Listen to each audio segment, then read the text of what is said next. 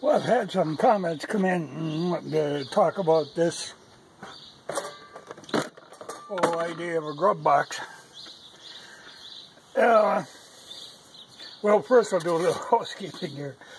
Uh, this is to my sister who sent me the key. you know, I, I, get a card in the mail and I'm thinking, what in the world? You know, I had no idea why somebody would be sending a card. Then inside it says, up oh, here's the spare key. And there is a key size hole in the envelope. you know, if you'd, if you'd have taped it inside the card, maybe. But uh, she's got some phobia about going to a post office. She must have had a bad experience there with her. She lives over the cities, and I think there's always hellacious wines and rude people. You know, like here, you go into a post office, there's never anybody in front of you. I was hoping it'd be hot enough in the chicken we can carry on, but... Yeah. Okay. In the chatting about this, you know, somebody said, well, I bet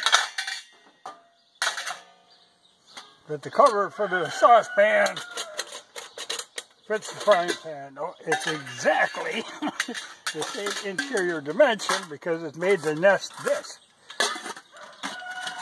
You know, the, and like say, the frying pan, it would have been nice. In a lot of them, I see where the frying pan actually doubles as the lid for the big kettle and holds the whole unit together.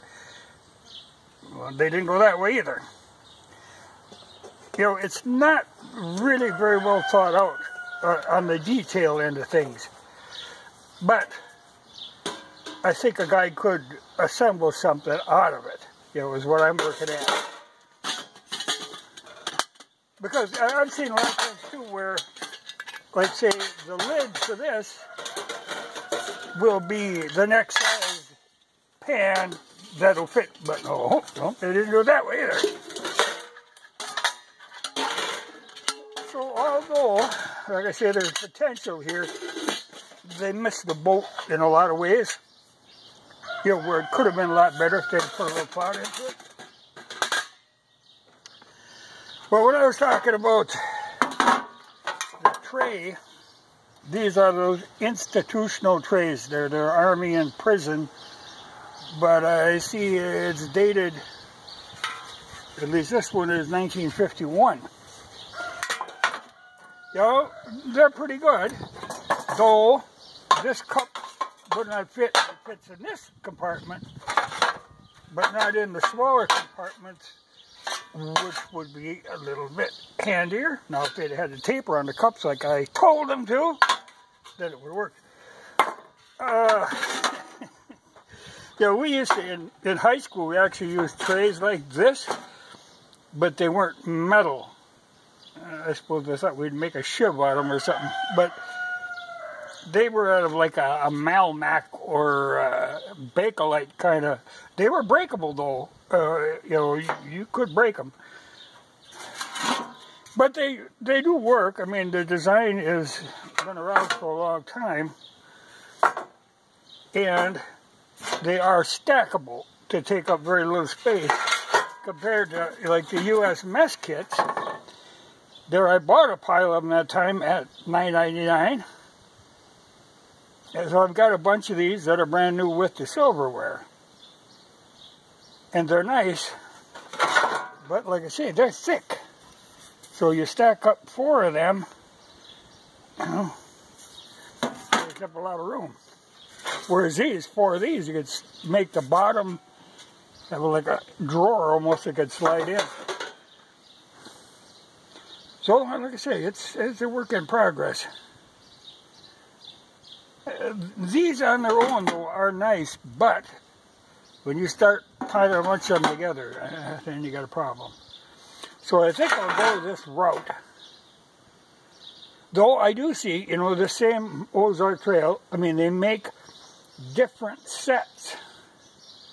And I might be end up buying another set or two to try to mix and match out of them sets, you know, to get the right thing. I'm really, you know, it's funny because there is really a lot of interest. People want to be able to have a functional cook kit, you know, for a portable kitchen.